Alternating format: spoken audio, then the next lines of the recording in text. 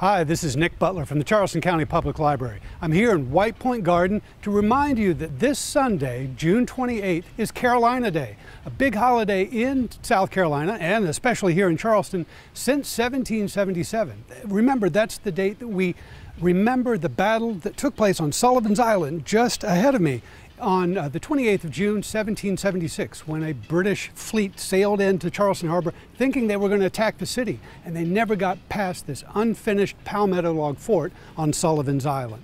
So, in the past few years, I've done three separate podcasts about Carolina Day, trying to tell the story. And in 2018, I stood right about here and gave a speech to a crowd of four or 500 people about remembering Carolina Day. So this year, I'm not going to rehash the story, but I am going to invite you to celebrate Carolina Day this year by looking back at episode 118 or episode 71 or episode number 117 on the Charleston Time Machine. So last year's 2019 essay about Carolina Day is actually the script of the speech that I gave here in 2018. So that entire speech from 2018 is online as well. So you're welcome to watch that. If you can't get outdoors to your own personal celebration of Carolina Day, you can join us virtually through the Charleston Time Machine at the Charleston County Public Library. Thank you. The Battle of Sullivan's Island was not the first battle of the American Revolution. It was not even the first exchange of gunfire here in South Carolina. It was, however, the first clear and indisputable victory in our American war for independence.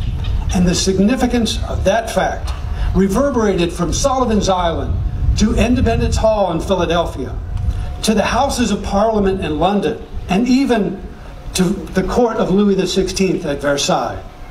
It demonstrated to the world that raw American troops, composed of farmers, shopkeepers, tradesmen, merchants, planters, immigrants, and even enslaved Africans, were resolutely determined to stand their ground and to defend their dreams of liberty. Most of you here today know the story of the Battle of Sullivan's Island backwards and forwards. So what can I say that might be new or different from other commentators on this same subject? This is certainly not the time or the place to recount every detail of the battle. So rather, I'd like to try to increase your appreciation of the significance of the battle we celebrate today with a few remarks about its general context.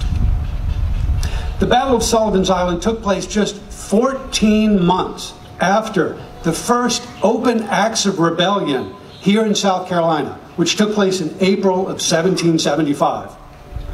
The battle was fought by raw troops drawn from South Carolina's provincial army, which was created just 12 months before the battle commenced. This major battle, the largest of its kind in South Carolina's century long history, took place just four months after this state had tentatively declared its independence and adopted a state constitution in late March of 1776. The 28th of June 1776 was also the day that Thomas Jefferson presented the first draft of the Declaration of Independence to our Continental Congress, declaring that the 13 separate British colonies were henceforth to be known collectively as the sovereign United States of America. The Battle of Sullivan's Island took place on a single day, commencing at about 11 a.m. and concluding just after 9 p.m. But that day of action was choreographed well in advance. The British, the British fleet arrived off the bar of Charleston Harbor on the 1st of June, 1776. During four restless weeks preceding the battle, the American and British forces watched each other closely as they chose their positions and deployed their resources. It was like a slow motion game of chess, acted out in complete silence before the first shot was fired. In commemorating the Battle of Sullivan's Island, I believe it's important to remember that Sullivan's Island was not the primary target of the British operations here in the summer of 1776. Certainly, the British Navy expected to exchange fire with the American troops in that unfinished fort on Sullivan's Island, but their goal was to penetrate the harbor defenses and attack Charleston. The British never expected to face such fierce and determined resistance, however. And frankly, the American command staff did not expect the raw troops stationed on Sullivan's Island to persevere. How do we know this? Consider for a moment how the American troops were deployed in the weeks leading up to the battle. The American forces in Charleston at that time numbered just over 6,500 fighting men, including South Carolina Continental troops, South Carolina militiamen, su supplemented by Continental troops drawn from Virginia and North Carolina. When the battle commenced on the 28th of June, 56% of the men, 56% of the men were positioned here on the peninsula of Charleston to defend the town. Just over 20% were stationed at Haddrell's Point near the old village of Mount Pleasant. Colonel William Thompson's riflemen, so important in the story of this battle, they were defending the north end of Sullivan's Island. They constituted just 12% of the total American forces. At Fort Johnson, over here on James Island, Colonel Christopher Gadsden commanded a small garrison that represented about 6% of the total. So finally, the 435 men inside that unfinished Palmetto log fort on Sullivan's Island, including the entire South Carolina 2nd Regiment and a small detachment of the 4th Regiment, all under the command of Colonel William Moultrie, represented about six and one half percent of the available American soldiers, six and a half percent of the total force. Likewise, the distribution of gunpowder and ammunition was commensurate with that division of troops. That is to say, the bulk of the American supply of gunpowder and shot was reserved here for the defense of urban Charleston, which was deemed to be the most important asset to protect. The relatively small body of men assigned to defend that unfinished Palmetto log fort on Sullivan's Island were purposefully given a proportionately small amount of ammunition. The American forces here on the peninsula were moderately well supplied with gunpowder and shot before the battle. But Colonel Moultrie knew well before the fight began that he was already handicapped by an inadequate supply of firepower. From this sort of analysis, it's clear that the American Army was circling its wagons, to borrow a later expression, around the town of Charleston. Both sides expected the firefight at Sullivan's Island to be just a prelude to the main event, which was a naval and amphibious assault on Charleston's eastern waterfront. To meet this danger, the American commanders positioned the bulk of their artillery behind a palmetto log wall that stretched the length of East Bay Street and behind the robust fortifications here at White Point.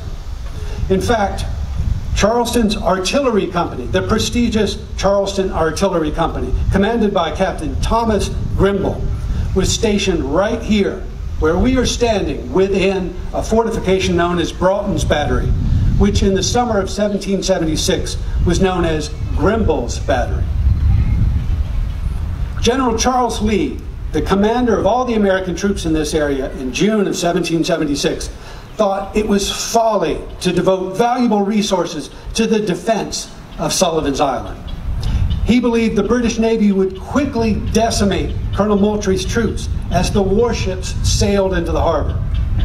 Lee would have preferred to keep those troops here on the peninsula to defend the town, but in the end, he bowed to local pressure President John Rutledge and other local military commanders thought it was well worth the effort to attempt to stop the British from entering the harbor, or at least to slow their advance at Sullivan's Island.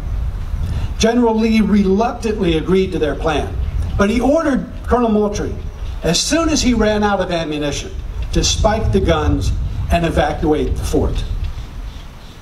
In this context, we can better appreciate the steely resolution displayed by Colonel Moultrie and his troops on the 28th of June. They knew they were undersupplied and outmatched. They understood that their own superior officers did not expect them to persevere. They knew that the veteran British troops were expecting to breeze past that unfinished fort with minimal resistance. But despite all of these disadvantages, those 435 raw American soldiers rolled up their sleeves and dug in for a hard fight. In the 10 hour battle that took place on the 28th of June, 1776, the British Navy aimed nearly 300 cannon at Fort Sullivan and expended approximately 17 tons of gunpowder to fire more than 50 tons of iron shot. The Americans inside the unfinished fort had just 31 cannon and expended just over two and a half tons of gunpowder, gunpowder to fire about seven tons of iron shot at the British Navy. The American forces were outmatched by a ratio of nearly eight to one. But yet they won the day with only 11 men killed and 25 wounded. It was an extraordinary victory. It was heroic, miraculous, providential, even epic. How did they do it? Well, I can think of at least four reasons that four factors that sealed the fate of the battle on that historic day. First, the American troops were strengthened by the sincere faith in the righteousness of their cause. Second, the defenders of Fort Moultrie, whose statue is commemorated behind me, uh, Fort Moultrie were empowered by the resolute determination displayed by their own commander, William Moultrie. Third, the Americans were aided by the resilient properties of Mother Nature, the spongy palmetto, palmetto trunks, the shock absorbing sand within the fort's walls, and the deceptive watercourses that confused British intelligence and prevented the enemy from positioning troops to their advantage. And finally, the men who faced the British war machine on the 28th of June were inspired to fight on by the brave acts of their fellow soldiers in the heat of battle. Early in the day, when the flag of the 2nd Regiment was shot down by a British cannonball, Sergeant William Jasper braved a hail of cannon fire to rescue the fallen flag and replant it atop the rampart. His reckless enthusiasm was far more than just folly. The flag was a powerful symbol that represented their cause. Spirits drooped when the flag fell.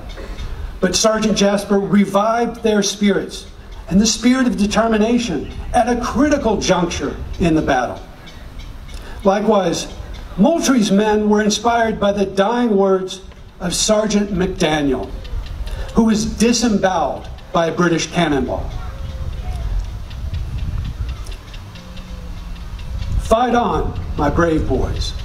Fight on, my brave boys, McDaniel said to his comrades with his last breath. Don't let liberty expire with me today. Each year, on the 28th of June, we honor the memory of Sergeant McDaniel and his brave compatriots by recalling their deeds and the eternal debt we owe to their sacrifice. Had the British plan prevailed on the 28th of June, the engagement at Sullivan's Island would have been merely the appetizer course in a feast of violence in which downtown Charleston would have been the main course. The history of South Carolina and the history of the United States in general would have been far different had the British prevailed on that fateful day. But the brave boys in blue on Sullivan's Island won the day and spoiled the British appetite for both the turf and the surf of South Carolina. In the course of American history, our nation has survived hundreds of battles, but not every battle is remembered by annual commemorations. We have general days of remembrance like Memorial Day and Veterans Day, but many battles, in fact, most battles, are not individually commemorated on every anniversary. Why is the Battle of Sullivan's Island different? Why have people been commemorating the anniversary of this battle ever since 1777? Why was a society formed specifically to perpetuate the memory of this battle? The answer, in short, is that the outcome of the Battle of Sullivan's Island was so unexpected, both to the victors and to the losers, so inspiring to the people of South Carolina and to the larger American struggle for independence, and so important to the history of our nation. As a teacher, I'm always thinking about how to summarize big stories into smaller, bite sized themes that are easier to digest. So, what lessons can we learn from the Battle of Sullivan's Island? What message summarizes the spirit that won the day? What theme can we derive from this victory and pass on to future generations of Americans? Personally, I draw inspiration from a phrase coined by President John Rutledge of South Carolina on the 28th of June 1776. During the height of the battle, when observers standing right here at White Point witnessed the success of the American firepower, President Rutledge ordered a boat to deliver an extra 500 pounds of gunpowder to Sullivan's Island. Along with that powder, Rutledge also scribbled a note to Colonel Moultrie, urging him to use this supply of ammunition slowly and deliberately. In the heat of battle, Rutledge concluded his note by advising Moultrie, cool and do mischief. Cool and do mischief. That pithy phrase, rendered in more verbose language, might sound something like this Steady your nerves, sight your targets as precisely as possible, and use the limited resources at hand to inflict as much damage as possible to the enemy. In civilian context, we might translate Rutledge's advice like this Calm your mind. Identify your goals as clearly as possible. Ignore the distractions of life and work diligently to overcome the obstacles that stand between you and success. I think that's a noble admonition, both in 1776 and in the present day. Cool and do mischief. If anyone's inclined to print up some t shirts with that slogan, I'd be happy to wear them here next year.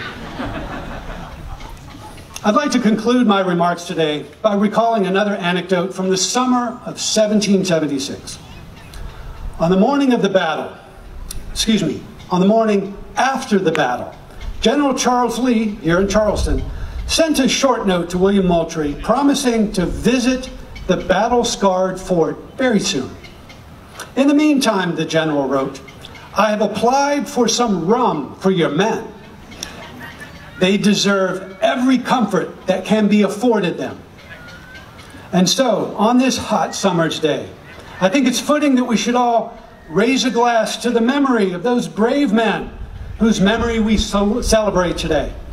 And whether your glass contains celebratory dram of rum or just plain refreshing water, I invite you in, to join me in toasting the memory of those brave men who fought and died for our liberty 242 years ago today.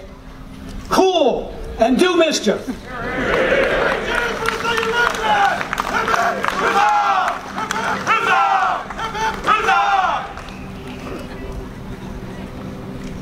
Thank you, ladies and gentlemen.